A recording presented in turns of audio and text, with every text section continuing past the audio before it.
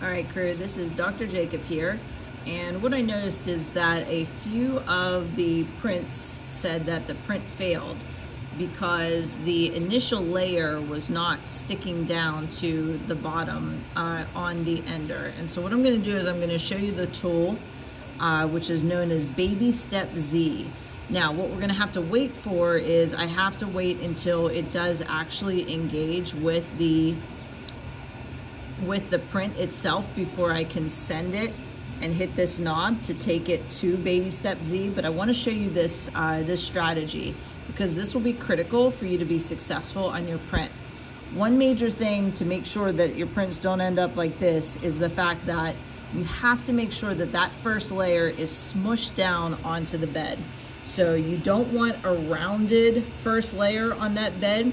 You also don't want it like scored into the actual bed itself, which is what this looks like. You want to have a really nice, uh, nice layer that's nice and thin, but smushed down on the bottom of the bed. And so what I'm going to do is I'm going to show you how you can set that up. And a key thing is please make sure that you don't leave your print until you see that first layer getting done. Once you see the first layer getting done, then you know pretty much you could be very successful with it. But if you don't leave without seeing that layer, then you wanna make sure that you do stay uh, so that you can see that first layer being done. So now you can see I'm almost to temperature here. It's gonna engage in just a minute here once it hits 200. All right, so there it's engaging. And what I'm gonna do is I'm gonna click on this uh, button once and I'm gonna go to tune. And you have to do this right now as it's starting and then you're gonna go down to baby step Z. I'm gonna hit that baby step Z. And what I'm gonna do is I'm gonna watch this print. If the print is not engaging on, uh, on that uh, bottom layer, I'm going to press down or move down and I'll try to move this for you so you can see it. See how it's way too high? It's not sticking to the bed. I'm gonna move that Baby Step Z down about three layers there. Ah, that's just right. So notice how now it's sticking right on that bed uh, and it has a nice smushed layer there. So that's showing us that that is going to be a successful calibration cube. And notice that what I did is it went down by 0.2. Now I can do the exact same thing and turn it up. Say it's too close to the bed and it's actually pressing and making a big mark on the bed. I can do the opposite and I can move it up by little steps. But what you're gonna see is you're gonna see that that nozzle head is going to go up and it's obviously not going to stick because I've been moving it up. And so there you can see that's happening.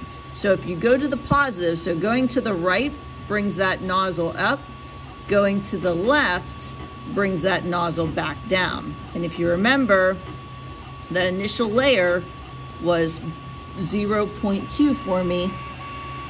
It was negative 0.2. And that takes it exactly where we want it.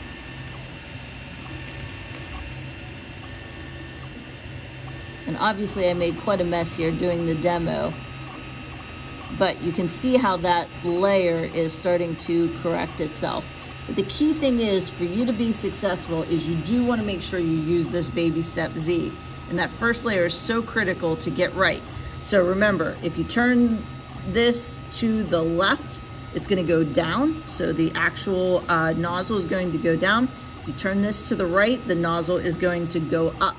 And you just want to do a few clicks at a time, nice and slow, to get it just right.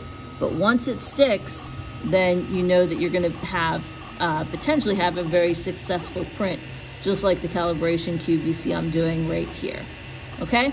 So that's Baby Step Z. Be sure to use that uh, as you're working. Um, that will make a world of difference in making sure that your, um, your prints are successful the first time.